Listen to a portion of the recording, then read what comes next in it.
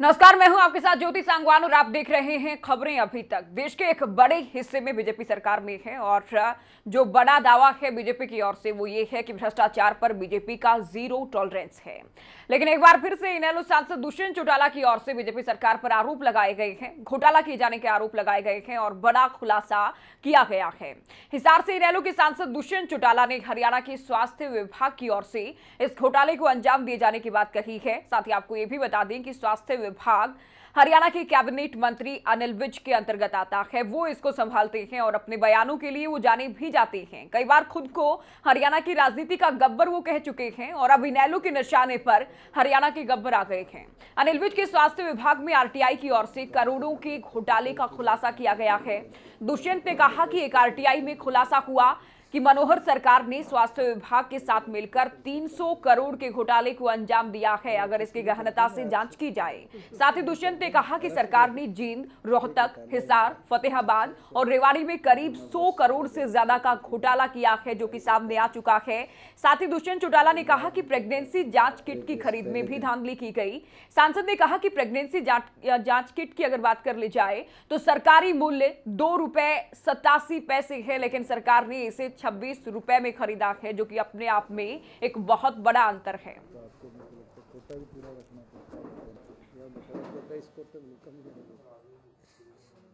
मेरा ये अनुमान है, जो डाटा हमारे पास है अलग अलग अलग अलग डिस्ट्रिक्ट्स का, ये सवा सौ करोड़ से ऊपर का मामला है, जिसके अंदर पूरे तथ्य हमारे पास अभी पाँच जिलों के हैं। मगर मेरा ये अनुमान है, अगर 22 जिलों का प्रॉपर ऑडिट करवाया जाए तो ये पूरा मामला कम से कम 300 करोड़ से ऊपर का है। हमारी यही मांग है कि मुख्यमंत्री तुरंत प्रभाव से पिछले चार वर्षों की हेल्थ डिपार्टमेंट के सभी परचेजेस की ऑडिट करवाए सीएजी से और साथ के साथ जो तथ्य मैंने आज आपके सामने रखे हैं, इन तथ्यों की अगर मुख्यमंत्री चाहते हैं तो मैं कॉपी उनको दूँगा, इसकी सीबीआई जाँच कराए। अगर मुख्यमंत्री इसकी सीबीआई जाँच नहीं कराते तो मैं खुद स्वयं सीबीआई डायरेक्टर आलोक वर्मा जी से समय लेकर ये तथ्य उनके सामने रखूँगा और यही मांग करूँगा कि इस पूरे मामले की वो जाँच करें। हिसार के अंदर एक कंपनी है जीके उसके जो प्रोपराइटर है, आज वो तिहाड़ जेल के अंदर देशद्रोह के मामले में, जो कि नकली सिक्के बनाने की आरोप में आज वो बंद है, उनकी कंपनी से सोनलाल कंसल जी के बेटे कनिष्क ने निरंतर गवर्नमेंट के अलग अलग जिलों में वर्क ऑर्डर लिए और उनको माल सप्लाई करने का काम किया। इसी प्रकार जींद के अंदर जो गवर्नमेंट टेंडर द्वारा प्रेगनेंसी स्ट्रिप्स की कोटेशन दो रुपये नब्बे पैसे की थी ओवर द पीरियड उन्हीं प्रेगनेंसी स्ट्रिप्स को टेंडर प्रक्रिया को फॉलो कर, करने की बजाय अलग अलग अस्पतालों में अट्ठाईस रुपए तक परचेज किया गया है। इस सरकार ने तो ये भी कहा कि हमने लोगों को मुफ़्त दवाइयाँ दी। मगर आज एक चीज़ साबित होगी कि केवल मात्र झूठ बोलकर लोगों को बहकाने का काम ये सरकार कर रही है। ये तो खुल के खा रहे हैं, खुल के खिला रहे हैं। तो सांसद दुष्यंत को आपने सुना, जिनकी ओर से कहा गया कि खुल के ये खा रहे हैं और खुल के खिलाया जा रहा है। ना खाऊँगा, ना खाने दूँगा की बात पीएम करते हैं। बीजेपी बात करती है भ्रष्टाचार पर ज़ीरो टॉलरेंस की, लेकिन जब इस तरह के घोटाले का ज़िक्र किया जाए, खुलासा किया जाए और सीबीआई जाँच की मांग की जाए तो हरियाणा की तीनों पार्टियाँ क्या कहती हैं इनेलो समेत, क्योंकि आरोपों को भी जानेंगे कि आरोप क्या है। ये जानने की कोशिश करेंगे। रविंद्र ढुल है हमारे साथ, इनेलो प्रवक्ता फ़ोन लाइन पर जुड़े हैं। संजय शर्मा बीजेपी का पक्ष रखेंगे और साथ ही रंजिता मेहता भी हमारे साथ फ़ोन लाइन पर है, कांग्रेस प्रवक्ता है। स्वागत है आप तीनों का इस चर्चा में। संजय शर्मा जी ये बताइए जिस तरह की बातें आप लोग करते हैं कि भ्रष्टाचार पर ज़ीरो टॉलरेंस है इनेलो अगर आरोप लगाती है आरटीआई के खुलासे के हवाले से आरोप लगाए जाते हैं तो सरकार का पक्ष क्या है? देखिए ज्योति ये क्या मामला है? आरटीआई से क्या निकला? देखो उसका पूरा मुझे जानकारी नहीं है। जी। लेकिन जहाँ तक बात है सरकार की ज़ीरो टॉलरेंस की या भ्रष्टाचार के प्रति रुख की तो वो जैसा पहले था वैसा अब है। जिस तरह की बात अभी दुष्यंत चौटाला जी अपनी बाइट के अंदर कह रहे थे कि ऐसे ऐसे हॉस्पिटल्स के अंदर प्रेगनेंसी किट्स खरीदी गई है तो सरकार इसका तुरंत संज्ञान लेगी और अगर इस तरह से तय रेट से या तय मानकों से ज़्यादा किसी ने क्योंकि ये जो परचेज है वो लोकल लेवल पे की गई है स्टेट लेवल पर इस तरह की एक मुफ़्त परचेज नहीं की गई है तो लोकल जो अधिकार सीएमओ को होते हैं उनको जो परचेज करने का अधिकार होता है उस आधार पर उन्होंने कोटेशन दे करके लेकर के और इस तरह की परचेज की है इसकी तुरंत जाँच करवाएँगे और उसके अंदर जो भी संलिप्त पाया जाएगा चाहे वो कितना बड़ा अधिकारी क्यों ना हो जी। उसके खिलाफ सरकार सख्त से सख्त कार्रवाई करेगी। पक्ष जानेंगे। रविंद्र ढोल साहब तीन साल तक इस तरह से खरीद होती है हालाँकि जिला स्तरीय ये खरीद की जाती है। सरकार को कोई जानकारी नहीं इस मामले के। देखिए यही सबसे बड़ा झूठ है ज्योति। सबसे पहला जो इन्होंने कहा कि सरकार को इसकी कोई जानकारी नहीं। सबसे पहले मैं ये बता दूँ कि सरकारी जो टेंडर की प्रक्रिया है वो टेंडर की प्रक्रिया के अनुसार जो है टेंडर के रेट जो है सरकार के द्वारा सप्लाई इनको पहली बात तो नीचे डिस्ट्रिक्ट लेवल पे किए गए थे। और यह मामला अलग अलग डिस्ट्रिक्ट में।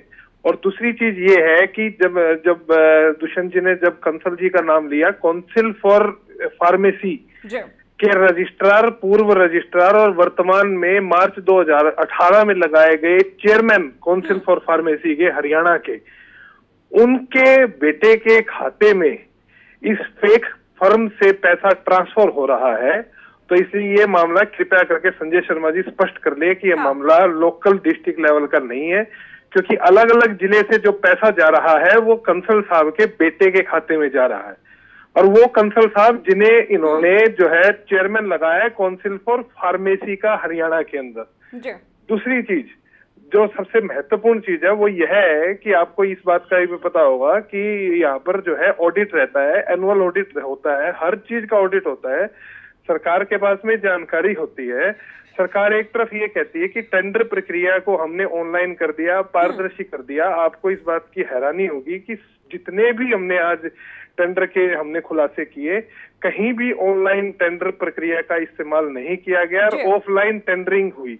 दूसरी चीज़ जो महत्वपूर्ण है महत्वपूर्ण ये है कि टेंडर के जो रेट थे उनको इग्नोर करके हाँ। डिस्ट्रिक्ट लेवल के अफसरों ने झूठे बिल तैयार करके लोकल कोटेशन ली उससे दस दस गुना रेट के ऊपर। हाँ। और वो पैसा कहाँ जा रहा है? वो काउंसिल फॉर चेयरमैन के फॉर फार्मेसी के चेयरमैन के बेटे के खाते में। संजय शर्मा केंद्रीय पद कैसे मान लिया जाए कि सिर्फ़ अधिकारी संलिप्त होंगे अगर इस तरह का घोटाला हुआ है जो कि आरटीआई कहती है जो कि इनेलो के आरोप भी है?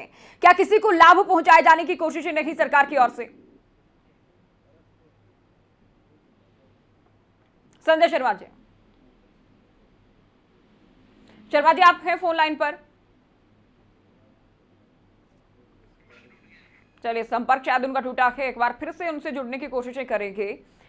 और बाकी क्या क्या खुलासा हुआ है ढुल साहब आपसे जानेंगे जी देखिए इसके अलावा और भी बहुत सारे खुलासे हुए हैं। जैसे कि रेवाड़ी का दुष्यंत जी ने आपको बताया जो शगुन ट्रेडिंग कंपनी है वो कथित तौर पर हिसार के अंदर रजिस्टर्ड है और कथित तौर पर फतेहाबाद के अंदर भी रजिस्टर्ड है। ये भी गजब की चीज़ देखिए जिस कंपनी को इन्होंने टेंडर दिया जिस फर्म को उस फर्म के दो अलग अलग कोटेशन के अंदर जो है अलग अलग डिस्ट्रिक्ट के एड्रेस आ रहे हैं। एक जगह हिसार का आ रहा है दूसरी जगह फतेहाबाद का आ रहा है।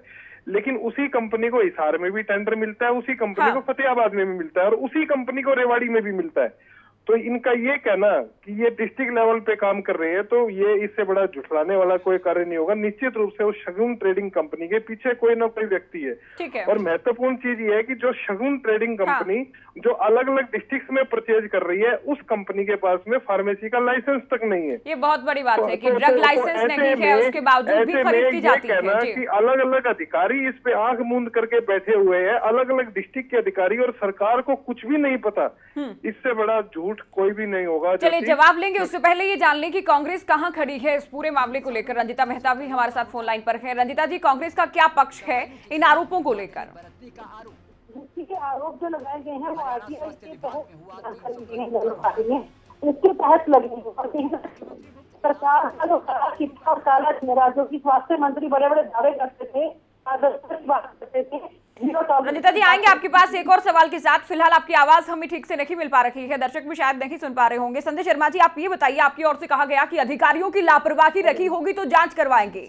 आप कैसे कहेंगे इस मामले में कि सरकार की किसी तरह की भागीदारी नहीं है या किसी को लाभ पहुँचाए जाने की कोशिशें नहीं की गई है जो कि रविंद्र ढुल साहब की ओर से पूरी बात बताई गई उस पर? पहले भी कहा देखिए प्रदेश लेवल पर डिस्पोजल एंड सप्लाई के जो डायरेक्टर हैं वो जो परचेज करते हैं वो परचेज एक प्रक्रिया के तहत होती है। उसमें टेंडर निकाले जाते हैं लोग टेंडर अप्लाई करते हैं ऑनलाइन टेंडरिंग होती है उस आधार पर जिसका लोएस्ट रेट होता है उस आधार पर और टेंडर के रेट पर नहीं दिए गए। बहुत सारे ऐसे भी मामले जिनमें टेंडर ही नहीं दिए गए हैं। ड्रग लाइसेंस नहीं है हूँ। वहाँ से खरीद की जा रही है। फिर इस पर क्या कहेगी बीजेपी मैं वही बता रहा हूँ। बताइए। इस बारे में मुझे पूरी जानकारी नहीं है कि ये कौन सी आरटीआई इन्होंने ले किस बात की लेकिन मुझे जो जानकारी है परचेज उसके आधार पर ये है कि एक निश्चित राशि तक की खरीदने की पावर वो सीएमओ को होती है डिस्ट्रिक्ट लेवल पर सीएमओ वहाँ की ज़रूरत के हिसाब से जो एसेंशियल मेडिसन हैं वो खरीद सकते हैं तो ये जो ये जो आरटीए के तहत जानकारी इनेलो के किसी कार्यकर्ता ने या दुष्यंत जी ने जिसने भी मांगी है उस आधार पर जो रिपोर्ट आई है अगर वो उस लेवल की है तो उसमें आप कैसे कहोगे कि उच्च- स्तर पर इसमें धांधली है या उच्च स्तर पर इसमें मिली भगत है? देखिए लोकल लेवल पर सीएमओ या काउंसिल फॉर फार्मेसी की जो बात कही गई उनके चेयरमैन के बेटे को अगर इसका पैसा पहुँचता है जो कि इनेलो आरोप लगाती है फिर कैसे मान लिया जाए कि राजनीतिक लाभ पहुँचाए जाने की कोशिशें नहीं है? इस बात का जवाब दे दीजिए। हमें इसी बात का जवाब दे रहा हूँ कि इसमें कोई स्वास्थ्य मंत्री जी का कहीं रोल नहीं है इसके अंदर। मैं कह रहा हूँ कि एक अधिकारी सीएमओ लेवल का अधिकारी इस बात के लिए सक्षम है कि वो जिला स्तर पर एक लेवल तक की मेडिसिन खरीद सकता है। स्वास्थ्य मंत्रालय में अगर धांधली होती है घोटाला होता है तो जवाब किससे मांगा जाए? हाँ, सर ये बता दीजिए। जवाब मैं दे रहा हूँ ना। किसी भी स्तर पर होता है क्या मंत्री जी से जवाब नहीं मांगेंगे? नहीं मैं मैं दे रहा हूँ ना मैं कह रहा हूँ कि अगर इस तरह की कोई धांधली पाई जाती है इस तरह की कोई बात पाई जाती है उसकी तुरंत हम जाँच कराएँगे। आप ये स्वास्थ्य मंत्री के बारे में जिस तरह की बयानबाजी कांग्रेस की अभी प्रवक्ता कह रही थी इन लोगों पर स्वास्थ्य मंत्री के ऊपर कोई उंगली उठा सकता है क्या? आज स्वास्थ्य मंत्री जी जो सभी हरियाणा जिसका है, विभाग है उसके ऊपर उंगली ही उठेगी तो संजय शर्मा जी किसके ऊपर उंगली उठेगी? देखिए, रंजीता जी रंजीता जी इसके अंदर स्वास्थ्य ये बता मंत्री दीजिए एक एक है। एक एक ज़िले में सौ सौ करोड़ का घोटाला है। कह सकता हूँ। अगर आप ये तो पाँच जिलों की जानकारी आई है। मैं जानकारी के- मंत्री मैं को कह रहा ना सरकार की को है। जानकारी के हिसाब से पाँच सौ करोड़ हो गया। अगर बाईस जिलों की है घोटाला देखिए स्वास्थ्य मंत्री से सवाल कैसे ना किए जाए रविंद्र ढोल साहब जब तीन साल तक इसी तरह से खरीद चलती रहती है? सरकार कह दे जानकारी इसको एक बात देखिए काउंसिल फॉर फार्मेसी का जो पद है चेयरमैन का वो राजनीतिक पद है। और तीन साल के लिए राजनीतिक नियुक्ति है। भारतीय जनता पार्टी के कार्यकर्ता हैं चेयरमैन साहब। और उनकी नियुक्ति मार्च 2018 में राजनीतिक नियुक्ति है। उससे पहले वो पाँच महीने रजिस्ट्रार रहे हैं। और उससे पहले वो वहाँ पर हिसार सिविल हॉस्पिटल के अंदर तीन दो साल तक स्टोर कीपर भी रहे हैं। तो ये कहना कि काउंसिल फॉर चेयर जो फार्मेसी है उसके चेयरमैन जो कि खुले तौर पर अपने आप को खट्टर साहब के और अनिल विजय के नजदीकी बताते हैं वो इसके अंदर जो है राजनीतिक पद भारतीय जनता पार्टी के कार्यकर्ता के द्वारा हेल्ड किया गया राजनीतिक पद। अगर उसमें भारतीय जनता पार्टी अपने आप को कह रही है कि हमें इसकी जानकारी नहीं है तो ये अपने आप में झूठ है। दूसरी चीज़ मैं आपको बता दूँ एक और महत्वपूर्ण चीज़ जो दुष्यंत जी ने बताई थी स्टेट इंफॉर्मेशन कमीशन तक ये मामला गया। हमें आरटीआई नहीं दी गई बकायदा स्टेट इंफॉर्मेशन कमिश्नर जो कि भारतीय जनता पार्टी ने ही इन साहब हैं उन्होंने बकायदा मना किया कि ये प्र- ये जानकारी इनको नहीं दी जा सकती। हाई कोर्ट से हाई कोर्ट से फटकार लगने के बाद में मजबूरी में ये जानकारी सप्लाई की है वो भी केवल पाँच जिलों की वो भी अधूरी है। यदि मैं रेवाड़ी रेवाड़ी की भी जानकारी मैं आपको बता दूँ यदि वो भी पूरी आ जाए वो भी कई सौ करोड़ के अंदर जाएगी इतना बड़ा घोटाला है वो अभी भी हमें जानकारी नहीं दी जा रही है। तो देखिए सरकार की मंशा पर सवाल उठेंगे जब आरटीआई से ऐसा कुछ भी गोपनीय नहीं है कि आरटीआई से जानकारी ना मिले। कोर्ट के ज़रिए जानकारी मिलती है। उसके बाद भी पूरी जानकारी अभी नहीं मिली। पाँच जिलों में सौ करोड़ से ज़्यादा का घोटाला ये निकलकर सामने आया है तो अपने आप में बड़ा घोटाला हो सकता है। रंजिता जी। मैं यही बात कर रही हूँ ज्योति। ये घोटाला अभी तो सिर्फ़ पाँच जिलों की जो- इन्फॉर्मेशन है उसके यहाँ पे है। अगर 22 के 22 जिलों की इन्फॉर्मेशन आती है आप अंदाज़ा लगा सकते हैं कि किस स्तर के ऊपर इस प्रदेश में घोटाला किया जा रहा है जहाँ पे प्रेगनेंसी जो बताया गया है कि दो रुपए नब्बे पैसे की जो मिलती है सरकारी रेट पे उसको अट्ठाईस रुपए में खरीदा जाया जा रहा है। कितने गुना करेंगे आप? आप मल्टीप्लीकेशन करके देख लीजिए सौ गुना प्रॉफिट जो है ये पहले से ही वो उसको महँगा परचेज कर रहे हैं तो ये पैसा इनकी जेबों में सरकारी जो इनके जो लोग लगे हुए हैं उनकी जेबों में नहीं जा रहा या इनकी मंत्री की जेबों में नहीं जा रहा तो किसकी जेबों में जा रहा है? संजय शर्मा जी जानकारी देना। आज जिसके ऊपर पाँच पाँच रुपए के सिक्के बनाने के तिहाड़ जेल में वो बंद है बंदा। हाँ। उसके उसके उसके नाम की फर्जी कंपनियाँ और वहाँ पर एक धोबी की दुकान मिलती है जो एड्रेस रजिस्टर कराए जा रहे हैं। तो ये सब कुछ इनकी जानकारी के बिना हो रहा है। ठीक है। आप ये देखिए कब तक- या तो ये मान लिया जाए की बड़ी कुर्सियों पर जो लोग बैठे हैं वो भी शामिल हैं किसी न किसी स्तर पर या फिर सरकार और विभाग का फेलियर है? देखिए मुझे लगता है कि ये प्रारंभिक रूप से इस बारे में कुछ भी कहना ठीक नहीं है। हम्म। अभी क्योंकि पूरी जानकारी इसके इसके बारे में नहीं है प्रारंभिक जानकारी है। अब उसमें आरटीआई में क्या क्या मांगा गया था क्या क्या जवाब दिया किस आधार पर जवाब दिया गया है तो वो सारा जाँच का विषय है और अगर इस तरह की अनियमितता किसी लेवल पर भी पाई जाएगी चाहे वो कोई है चाहे कोई चेयरमैन का पुत्र है चाहे किसी लेवल का व्यक्ति है ये सरकार अगर कहती है ज़ीरो टॉलरेंस भ्रष्टाचार के प्रति तो वो ज़ीरो टॉलरेंस है। को कहती है सीबीआई जाँच। करवाइए मंगलवार तक बख्शा आप लोगों को वक्त दिया गया है। क्या तो सीबीआई जाँच करवाएगी सरकार इस मामले की? मैं ये कह रहा हूँ कि सीबीआई जाँच की ज़रूरत पड़ेगी तो वो भी करवाएँगे। हाँ। लेकिन किसी को भी प्रदेश के पैसे के साथ दुरुपयोग करना प्रदेश के जो लोगों की गाड़ी कमाई से आया हुआ पैसा है उसको कोई भी अपनी जेब में डालने का अगर प्रयास करेगा तो सरकार उसको बख्शेगी नहीं। वो चाहे किसी लेवल का भारतीय जनता पार्टी का कार्यकर्ता है कोई नेता है कोई मंत्री है किसी को भी ये सरकार ऐसे छोड़ने वाली नहीं है। लेकिन अभी जल्दबाजी में कोई भी बात कहना कि इतने लोग लिप्त हैं ये लिप्त है वो लिप्त है मुझे लगता है ये ठीक नहीं है। अभी इस नहीं तीन साल तक अगर इतने बड़े अंतर के साथ खरीद की जाती है जो रेट है उसमें वाकई बहुत बड़ा अंतर है। तो क्या आपको लगता है ये जल्दबाजी है? तीन साल तक अगर, अगर सरकार को जानकारी नहीं सरकार जानकारी लेना ज़रूरी भी नहीं समझती उसके बाद एक्शन लिए जाने में कहना कि अभी जल्दबाजी होगी इस पर बात करना। क्या दिखाता नहीं कि कम गंभीरता है सरकार की? जी। सरकार के जो मंत्री होते हैं वो कोई हर चीज़ की परचेज की ऑडिट नहीं करवाते। खासकर ये नहीं देख कहाँ किस रेट से क्या चीज़ें खरीदी जाती हैं।